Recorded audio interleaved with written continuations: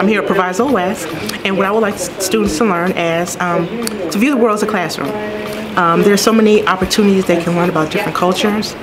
For me, going to Africa was a life-changing experience for me uh, to learn about the different cultures, to learn about my tree, and also to bring my information and use my platform to educate not only myself but other people, including students, about the importance of learning about their not only their culture but other cultures throughout the United States.